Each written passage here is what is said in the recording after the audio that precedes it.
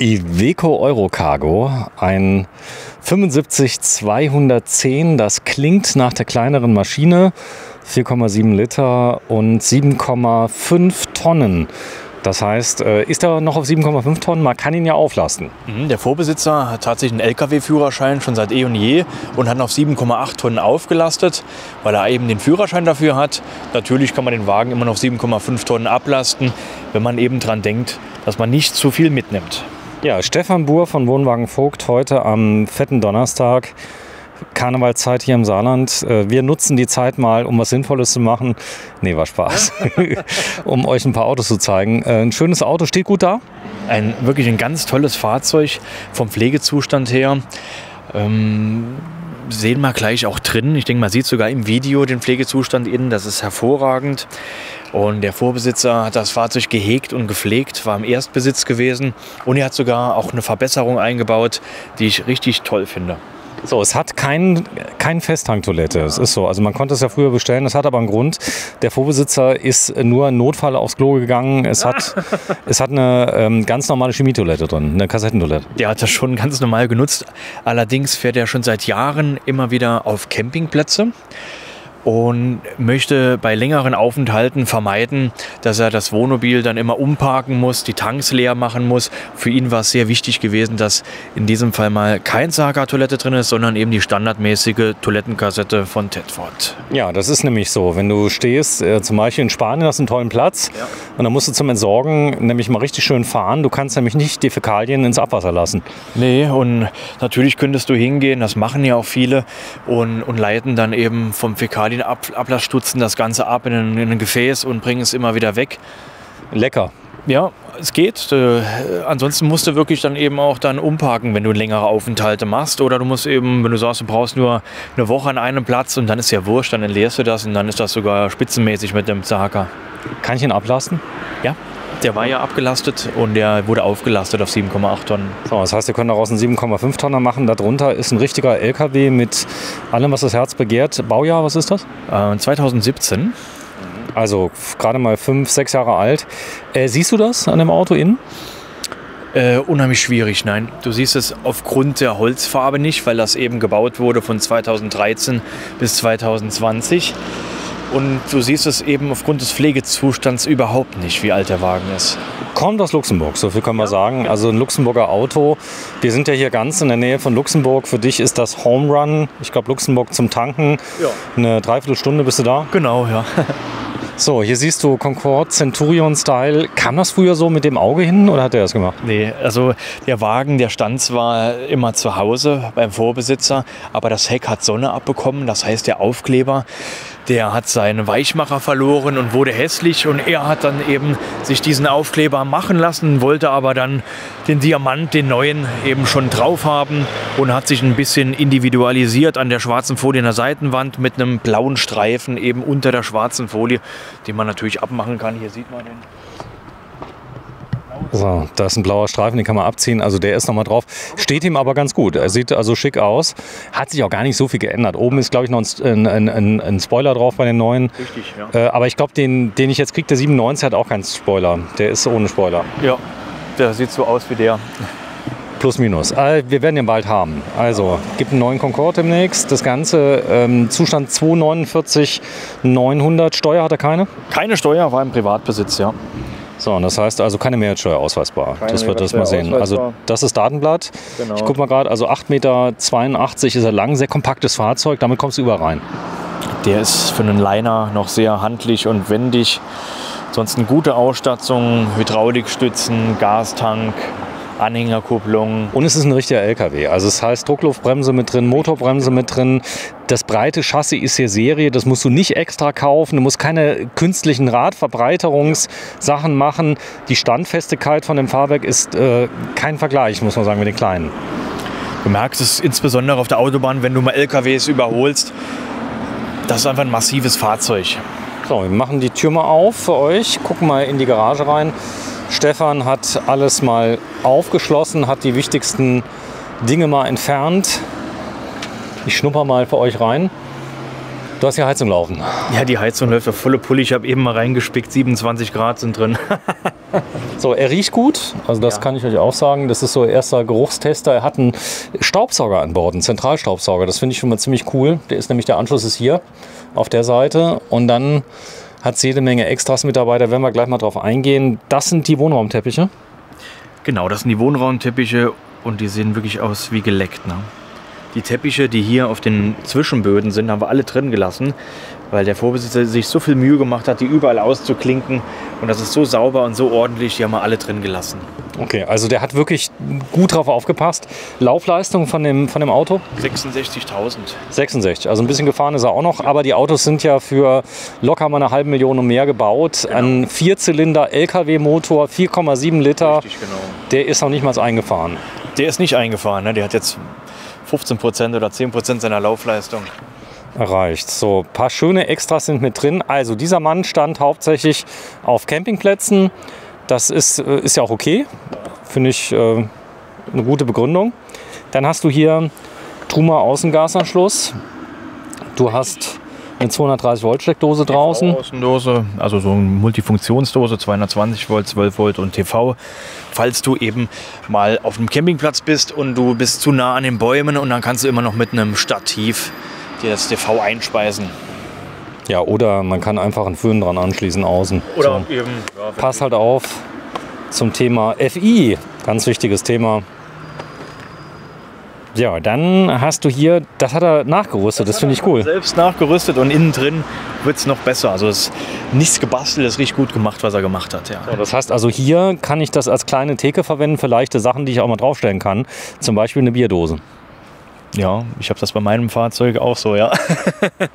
So, jetzt sind noch Steckdosen. Sind die nachgerüstet, die Steckdosen hier? Nachgerüstet, ja. Hm? So, das heißt, er hat gewusst, also kannst du aufmachen, sind Steckdosen mit drin, kann man Sachen anschließen. Hier ist ein Zwischenboden, auch der ist nachgerüstet, hat seinen Sinn. Genau. Denn hier kann man noch was einlegen.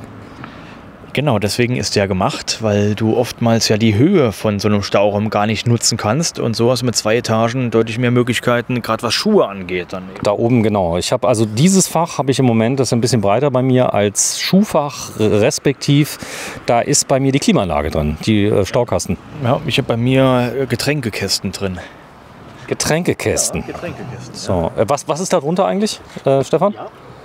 Drunter? Also gucken, gucken erstmal hier rein. So, kann man kurz mal reinschauen. Also das ist der, das ihr es mal habt. Also rechts neben der Aufbautür, da habt ihr noch ein vollwertiges Ersatzrad, das ist noch drunter. Genau.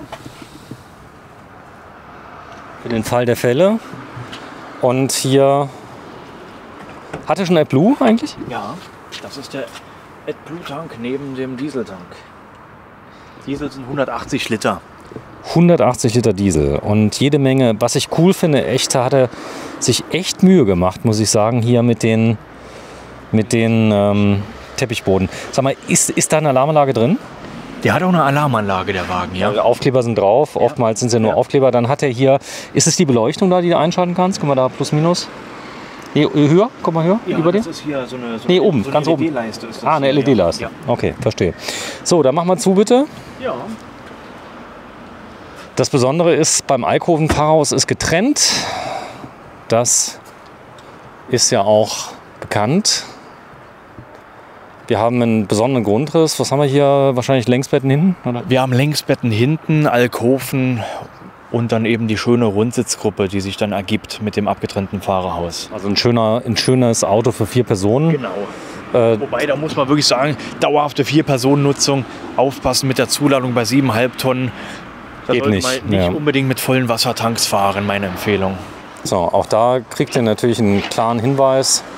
Wenn das auf 7,5 Tonnen ist, dann muss man ein bisschen drauf achten, was man einlädt. So, hier ist noch eine Beleuchtung mit eingebaut. Die ist ganz spannend. Die, dann hat er eine Hubstützenanlage. Der hat eine hydraulische Hubstützenanlage, korrekt. So, Elektromarkise ist mit drin. Genau, auch richtig. Eine Klimaanlage im Doppelboden eingebaut. Eine Staukasten. Ja. Okay, Staukasten, Klimaanlage. Ich gehe mal kurz hoch. Also die Farben, ganz ehrlich, der könnte auch aktuell sein. Genau, der, du siehst es einfach nicht. Ne? So zeitlos das Modell. Er riecht richtig gut. Ja. Also er riecht, er hat keinen, er hat keinen. Einen Eigengeruch. Und, aber der ist wirklich so angenehm. Ich habe auch gefragt, woher kommt der Geruch. Und er hat mir gesagt, das ist ein spezielles Mittel aus Italien, was er gekauft hat. Und er will mir das mal zeigen. Das würde ich gerne bei unseren Wagen auch benutzen, weil es wirklich so einen erfrischenden und nicht aufdringenden Geruch. Also kommst rein, es riecht so wie, ihr kennt, doch diese Spezialtücher aus den Trocknern, die man so reinlegt, damit es gut riecht. Und so riecht es, übertüncht aber auch nichts. Also es ist hier kein Geruch, also ist definitiv rauchfrei. Hier war kein, kein Raucher drin, das würde ich sofort riechen, das riecht direkt. Dann, ich guck mal ganz kurz hier rein, das ist denn das Fahrerhaus, was hier drin ist. Du hast einen wirklich sehr interessanten Grundriss, der das Fahrerhaus auf Wunsch nämlich komplett ausblendet. Ja, genau. Dadurch hast du eher so das Apartment-Feeling. Genau, wir haben ja hier diese Zwischentür. Ich kann ja mal gerade rein und raus durch die Tür gehen, dass man sieht, dass das unproblematisch ist, für hier durchzugehen. Boah, ich habe voll, voll Hunger. Hier steht frisches Obst auf dem Tisch, Stefan. Im Fahrerhaus drin. Ja. Und wenn wir dann eben die Türe zumachen. Ups. So, da hat man eine abschließbare Türe mit dabei und dann hat man auch eine entsprechende Wärmeisolierung hier mit drin. Das heißt, du hast keine Kältebrücken hier in dem Auto oder Wärmebrücken. Dann hier oben ein ganz großer Alkoven. Den kann man natürlich wunderbar verwenden, um zum Beispiel Sachen zu transportieren oder wenn zwei Leute getrennt schlafen möchten, dann ist das eine prima Geschichte. Mach mal bitte die, die, die Tür mal zu, Stefan. Das wir mal gerade hören, weil die Straße ist direkt nebenan. Bin mal sehr gespannt, was es passiert, wenn du die Tür mal zumachst.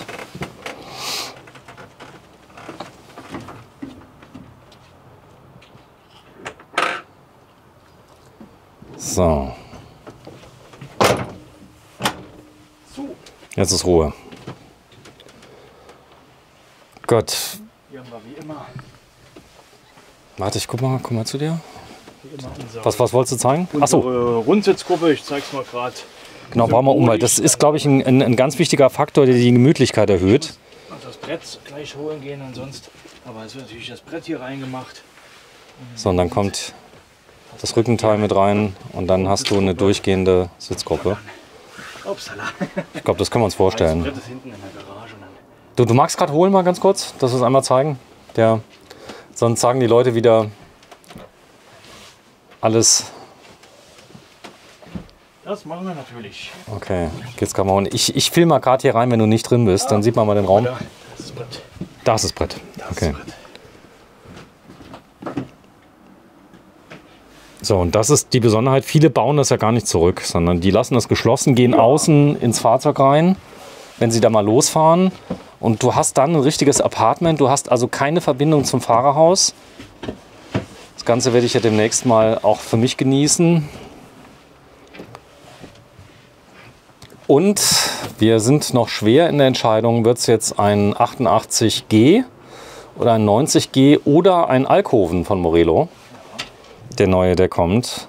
Und Alkoven-Modelle haben natürlich einen, einen eigenen Flair. Das ist nicht jedermanns Sache, oder? Der Alkoven?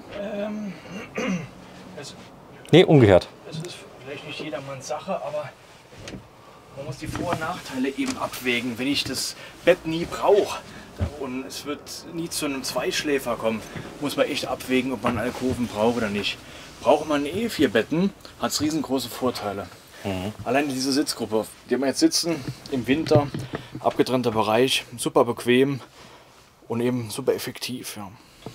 Ich finde die Wohnlichkeit hier ist enorm, weil du das Fahrerhaus nicht siehst. Also das ist nicht Auto oder so, sondern es hat einen unglaublichen Apartment-Look. Wenn du hier mal durchblickst, wir sitzen jetzt hier, dann blickst du auf einen schier endlosen Raum hier rein. Also ehrlich, für 2017 ist das Auto total zeitlos, weil das dunkle Holz ist ja immer kritisch, wenn du dann in der Inneneinrichtung Fehler machst. Aber hier hast du dunkles Holz, du hast helle Polster Passt eins zu eins mit den Farben zusammen. Ja. und dann die Hochglanzoptik in Magnolie. Jetzt zeige ich dir mal gleich, weil ich drauf gesessen habe, Ja, die Änderungen, die wir da drin haben. Schau mal unter den, schau mal unter den, die Sitzbank drunter. Mhm. Oh, da- da ist noch- Praktisch. Er hat das praktisch hier, die, die Truhe, an die man sonst fast nie rangeht, weil man ja alles hoch machen muss, entfernt und hat stattdessen Schuhe. das Ganze als Schuhregal gemacht mit, mit Trockenablage. Finde ich super praktisch. Also hier ist eine Schuhablage mit drin. Sowas habe ich noch nie gesehen. Das ist aber total spannend, weil du an die Schuhe direkt rankommst. Das ist eine gute, aber professionell. Es ist nicht so hingeknaubt. Sehr gut gemacht, ja. Das ist übrigens das frische Obst, was ich gerade. Bisschen Deko hast du reingestellt hier. ja. Die Jalousetten.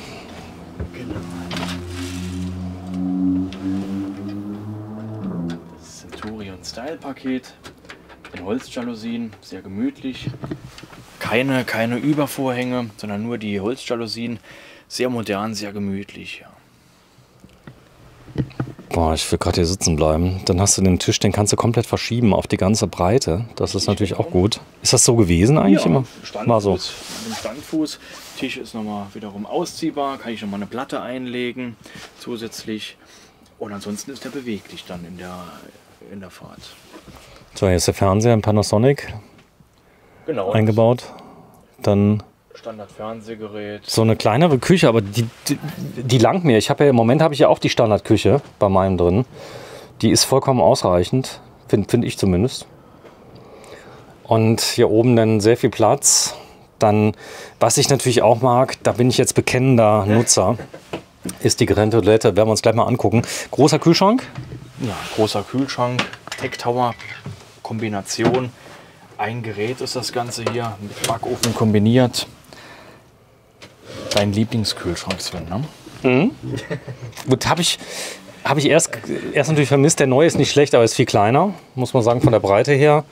Dann hast du hier, das ist die komplette Küche mit drin, mit einem Dreiflammen-Kochfeld, großen Spüle mit drin. Auch der, ich glaube, der Hahn, der ist wahrscheinlich ist- geändert worden. Genau, das war eben auch so ein Wunsch gewesen, dass man hier ganz normalen ausziehbaren Küchenhahn hat und dann noch in schwarz, Mhm. wie man es zu Hause in der Küche wahrscheinlich auch hätte. Du, du kennst den Eigentümer, gell? Ja, ich kenne ihn seit vielen, vielen Jahren. Ja. gut, also, also Kunde bei dir hat den dann treuen Hennes. Was, was ist jetzt mit dem, mit dem Kunden? Hört er auf zu campen? Oder? Nein, aber er ist noch in der, in der Suchphase, weil er einfach gewisse Ansprüche hat und, und geht auch da keinen Kompromiss ein in dem, was er sucht. Und da sind wir auf der Suche für ihn.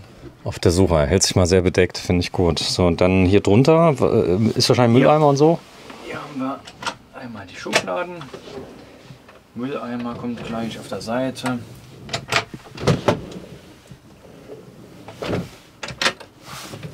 Gut, die, die typisch gute Concorde-Verarbeitung. Ja, ist wirklich gut. So. Aber alles tippitoppi, ne? Alles wie neu im Zustand. Und du musstest da nicht viel machen in der Aufbereitung? Nein, überhaupt nichts. Überhaupt nichts. So, und dann der Boden, Schiffsbodenoptik hier mit drin. Da, das ist übrigens das Empfangsgerät für die, für die äh, Staukassenklimaanlage Genau, richtig, ja. mit drin. Und ähm, ja, Fernseher haben wir schon gezeigt. Auslässe haben wir hier oben zum Beispiel von der Klimaanlage. Wenn wir gerade in den Kleiderschrank reingucken. Da bist du wahrscheinlich das eine oder andere. Nee, ist zugebaut. Super, gell? Oh, ist das, das ist schön gemacht. Also hinten das Schwarze. Bei mir siehst du ja die Rohre, das war kein Problem für mich, aber die waren hinter einem Bereich, wo du es nicht gesehen hast. Der, also- der, der Kunde hier ist wirklich ein, ein, ganz hervorragender Handwerker und der hat es selbst gemacht und der hat auch, äh, wie ich das gesehen habe, wo der die Klimaanlage eingebaut hat, im Doppelboden, habe ich gedacht, Mensch, wie bist du da, da dran gekommen? Hat er gesagt, du, das, was ich hier mache, das kann mir keine Werkstatt in Rechnung stellen, weil hier die Klimaanlage sitzt in diesem Bereich im Doppelboden. Hier ist die Trittstufe, Sven. Jetzt fragst du dich, wo du da rankommst. Also, Der hat die Trittstufe ausgebaut, Der hat komplett unten vom Doppelboden aus mit seinem ganzen Körper hier unten drin das Ganze gearbeitet. Im Doppelbodenbereich hat er auch gesagt, das könnte mir gar keine Werkstatt in Rechnung stellen. Das sind Tagearbeit gewesen, um das auch so zu verlegen, dass man nichts sieht. Und von dem her, er hat gesagt, das, lieber mache ich das, mache das Das- tagelang. Aber er kann es eben auch. Das Coole ist natürlich, ähm, was du nicht siehst, das wirst du auch nicht hören hinten. Das heißt also, die Geräuschbelastung ist natürlich bei einer Unterflugklimaanlage minimal. Er hat einen Luftausströmer hat er hier eingebaut, wahrscheinlich der Rest äh, im, Suchen wir mal, ja. suchen wir mal. Also die müssen übrigens oben sein, liebe Leute, denn die kalte Luft fällt ja nach unten. Und guckt euch auch unser Video an. Haben ja bei einem, einem Händlerkollegen, für die haben wir mal eine Unterflugklimaanlage eingebaut. Macht ihr aber auch, oder? Ja, machen wir auch, ja. Boah, aber auch hier ist wirklich Zustand. Und er hat den benutzt, ehrlich. Ja, natürlich, 66.000 Kilometer und der Wagen ist wirklich wie neu. Schön ist natürlich bei diesem Bett hier, du hast einen riesen Stauraum, haben wir eben abgefilmt. Aber schau mal die Höhe, die wir haben, Geh, geh mal rein, das wollen wir mal kurz mal sehen. wie, wie niedrig das Bett ist. Wenn hier irgendwo auf Hüfthöhe, Ja, also du musst dich nicht anstrengen. selbst auf der Stufe mit 1,85 Meter kann ich annähernd stehen. Da steht jetzt wirklich auf der Stufe drauf und das ging. Das heißt, du kannst dich richtig anlehnen hinten am Bett, wenn du mal gerade reingehst, bitte. Du hast die Schuhe ausgezogen. Ja. Denn ähm, du kannst dich jetzt anlehnen, nee, mal, mal gerade anlehnen und kannst hier theoretisch drin lesen. Ja, Und du hast trotzdem die Kopffreiheit. Das hast du ja selten. sowohl hier als auch da. Komplette Freiheit. Macht ein riesengroßes. So, ich komm mal, komm mal zu dir rein. Oh ja. Das ist krass, du, du hast hier viel Platz drin. Das heißt also viel Höhe. Da hätte man noch einen Zwischenboden einziehen können und hätten oben äh, Doppelstockbetten. Habe ich gesehen in einem Van, hast du mal gesehen? Da schlafen die mit äh, 30 cm Abstand, die in der Vierblatthöhe, ähm, dann übereinander in manchen Vans. Wer Und hier kreativ ist, ist hier ohne weiteres äh, machbar, hier oberhalb vom Fenster ein Bett reinzuziehen. Wäre möglich bei so einem ja, also ich, ich, ich weiß nicht. Hier Schlafplätze plus eben noch ja, vielleicht ein Notschlafplatz auf der Couch. Brauchen wir hier nicht. Im Wenn sagen wir immer aus Spaß dazu, wenn wir das sehen, Toaster. Das sieht aus wie, wie Toaster. das getoastet wird, ja. So, jetzt hast du hier einen Kleiderschrank. ja. Auf. ist ziemlich groß. Da siehst du aber nicht rein, wenn ich ihn aufmache. Mhm. Da musst du dich wieder vom Bett runter bewegen. Also, warte mal, das mache ich jetzt mal. Gehen wir kurz hier rein. Also ich zeige euch erstmal gerade mal die Dusche. Also hier haben wir eine, eine große Dusche mit drin. Die äh, Marmoroptik, was ist das hier, eine Natursteinoptik dahinter? Das hat äh, der Kunde auch selbst gemacht gehabt. Schiefer. Diese Optik, das ist praktisch ein, ein Vinylbelag, der, für, der extra für Badezimmer geeignet ist. Und das ist nur optisch hier drüber gemacht, das Ganze. Über Aufgewertet ein den, über, bisschen. den, Mhm. über den originalen Belag. Ja. So, und hier vorne hast du dann deinen Waschtisch. Und hier genauso. Das ist da eben angepasst, dass es passt. Aber ist es perfekt, oder? Super. Warme Farben, die miteinander harmonieren, sieht super aus. Was ist er für ein Handwerker? Was ist? Äh, wirklich ein Allrounder. Aber, aber wirklich alles. Es gibt nichts, was er nicht kann. Hauptsächlich aber elektrisch sehr versiert. Er spricht ja Luxemburg. Letzte Bursche. Er schwätzt Luxemburg. Du kannst das ja auch, ne? Ja, sagen wir mal so. Die einen sagen so, die anderen so. Weißt du, wie es ist. Also großer Kleiderschrank, da haben wir jetzt mal reingeguckt. Auch da hast du viel Platz. Ich meine, wir haben hier nur eine Länge von, glaube ich, 9 Metern Ja, hier. genau. 8,80 Meter haben wir als Länge. Warte, ich gehe mal einen Schritt zurück, wir das mal sehen. Also das ist das Raumbad, in dem du dich jetzt befindest. Das kann man natürlich zuschließen durch die Schiebetür. Machen wir bitte zu. Dass wir kurz mal schauen. Die ist jetzt gelockt. Und tschüss. Und nochmal auf. Guten Morgen, liebe Sorgen. Seid ihr auch schon alle wach? Und dann hast du, ja, das ist natürlich, ich bin, ich bin, Ich sag mal Komfortbad mit separater Toilette. habe ich Aber, auch mal aber eben die, die Tedford-Toilette. Gut, ähm, ganz ehrlich, äh, die Tedford hat wenigstens den Vorteil, die hat einen großen Tank. Du kannst den zweiten Tank mit dazu nehmen, machen viele. Natürlich. Und dann hast du eine große Autarkie. Und äh, umrüsten geht nicht mehr. Ne? Umrüsten würde natürlich schon gehen. Ne? Müssen wir nur gucken, an welchen Tank wir rankommen. Äh, ganz toll ist es auch nicht, wenn wir dann eben den Grauwassertank angehen, weil wir ja keinen separaten Tank hier vorverlegt haben. Gehen tut alles. Inwiefern das Sinn macht, ist die andere Frage. Gerade bei dem Grundriss, wenn man noch äh, dran denkt, den Wagen auf 7,5 Tonnen zu fahren, hat natürlich diese Toilette einen Riesenvorteil vom Gewicht. Also es ist halb so wild. Also ich muss sagen, ich habe ja jetzt auch ein Kabel, habe ich jetzt äh, ähm, die Kassettentoilette benutzt. Geht. Ja, ich sage im Vergleich zum, wenn du einen vollen äh, Fäkaltank mit dir fährst, hast du natürlich mehr Gewicht. Ne? Dann, guck mal hier, ein Spiegelschrank. Ja. Der ist sehr versteckt, aber er ist da. Zahnbürste und so. Geht das so? Ja, geht super. Und die Raumtür hast du jetzt geschlossen und das ist gleichzeitig dann die Klotür. Das heißt, Genau, das ist parallel die Klotür. Meine Güte, ist das warm hier drin. Ne? ja, du hast äh, die Heizung angemacht, das merkt man. So, denn wir sind mitten im Winter, heute ist der 16. Februar. Dann hast du hier noch einen Kleiderschrank. Haben wir den schon gezeigt? Ähm, ich glaube, den haben wir schon gezeigt, den hier. Das war mit der Klimaanlage. Ah ja, mit der Klimaanlage. Das war der. Hinten den Kleiderschrank vor. Ja, wir drehen ja heute ein bisschen was und dann können wir das sagen. So, also der, der ist jetzt zu haben. Genau. 24 Minuten, die sich gelohnt haben. Halt mal das Datenblatt rein. Was haben wir? Lithium-Batterien. Zweimal Super B. Super B sind drin. Super Wie B. viel? Äh, 210? Zweimal Ja, was haben wir da? 360. Zwei 360er. Ja. So, also ein schönes 6,88 Tonnen wiegt er. Zuladung fast eine Tonne bei 7,8 Tonnen, beziehungsweise hätte er die 600 Kilo bei 7,5 Tonnen. Ist auch realistisch, ne, weil er ja auch die Lithium-Batterien drin hat und, und keinen Zerhacker. Er hat aber einen Sog, habe ich eben gesehen. Das heißt also, die Chemietoilette hat eine Entlüftung mit drin, sodass es nicht riecht. Und es riecht wirklich nie. Das ist, äh, du riechst, äh, eben als wir das Klo auch geöffnet haben, da war nichts zu riechen. 0,0 Geruch, ja. Okay, also das ist Leute. Aber das Fahrzeug, ich rieche gar nichts dran. Also es hat ein Soundsystem mit eingebaut. Ja, das ist das, äh, das jeder Soundsystem ist hier mit drin. Ab Werk.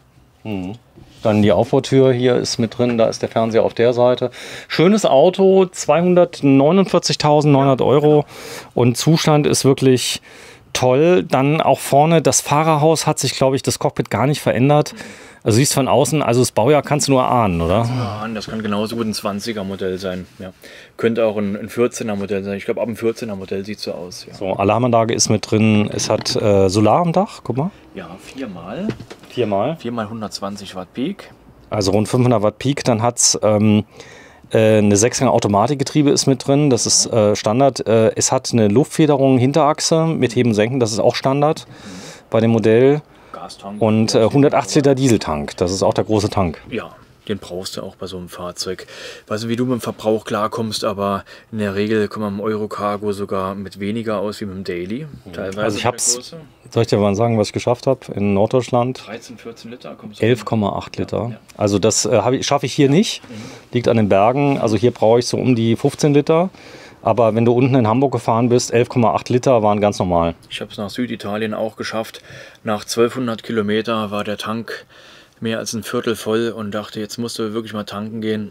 Wenn du es mal nachrechnest, es es konnte eigentlich gar nicht sein, so wenig davon. Hängt von der Fahrweise ab. Also wenn du, also was ganz krank ist, wenn du mit dem Ding äh, Landstraße fährst, 65 km/h. Heißt, du fährst, nimmst nicht die Autobahn und fährst zum Beispiel in Frankreich einfach über die Nationalstraße, darfst eh nur 80 fahren. Auf einmal sinkt der Verbrauch auf fast 12 Liter, weil der fühlt sich besonders wohl zwischen 60 und 80 km/h. Ja. Oder wiederum nachher so bei 90 mag ich es auch, ne, wo er sich so wohl fühlt dann von der Drehzahl. Nee, bei mir ist das Getriebe ja hochgesetzt. Ja. Also die, die hatten ja so Schaltprobleme und deswegen haben die äh, ganz leicht die Drehzahl angehoben und deswegen fühlt er, ist er besonders sparsam so zwischen 60 und 80. Bei dem hier ist wahrscheinlich das, das lange noch drin. Weil ich merke sonst immer bei 80, wo dann irgendwo von der Drehzahl so niedrig ist und dann immer ein bisschen mehr bei 90, komme ich am besten klar. Ja. Also richtiger LKW. Ähm, das Ganze ist da, heißt Cruiser A894L und ist äh, Baujahr, was haben wir, 2017, gell? 2017. Also 12 2017. Ja, genau. Also ist eigentlich 2018, fast ein ja. 218er, so, der da ist. Und Sitzplätze vier Stück. Alarmanlage ist mit drin, Klimaanlage ist mit drin. Richtig. Gastank hat er auch. Gastank 150 Liter. 150 Liter Gastank, haben wir dann, glaube ich, noch nicht gezeigt, aber ist mit drin und Solar ist mit drin, also volle Hütte.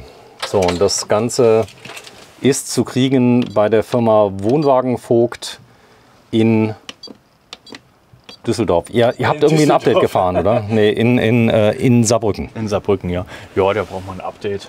Aber ist ja kein Problem, man können über den Masterstand ja auch gucken. Er hat eine Masterbolt. Ja, ist eine Mastervolt-Anlage drin, ja.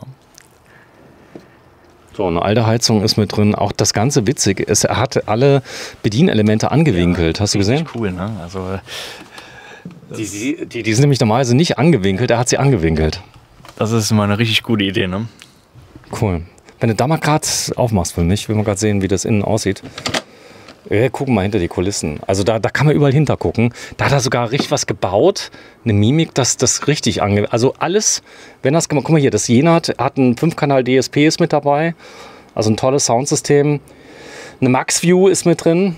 Das ist natürlich auch richtig schön. Coole Anlage und ähm, ja, ein Kühlschranklüfter hat er auch nachgerüstet von Titan. Den kennst du? Ja, von außen habe ich ihn schon gesehen. Das ist nämlich eine rote LED. Cool.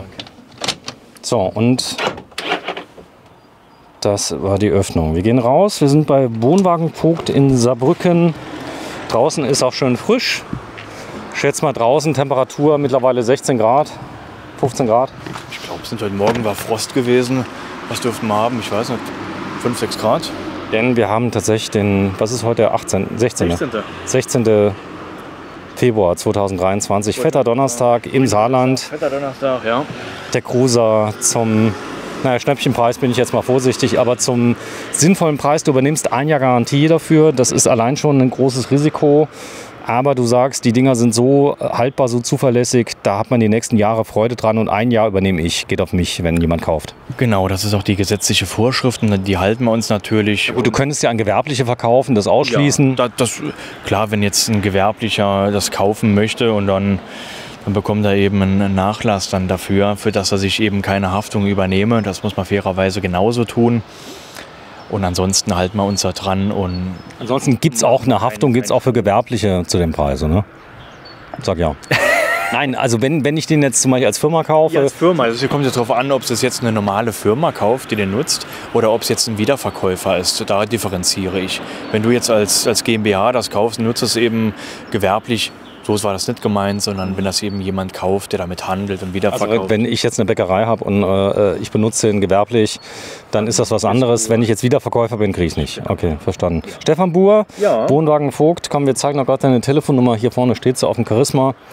Die 0681 992 880. Wir filmen relativ oft in Saarbrücken. Für mich ist das natürlich schön. Da kann ich morgens aufstehen, bisschen filmen, mich wieder hinlegen. Und äh, da vorne steht da der Cruiser Eurocargo 75 210. Tschüss.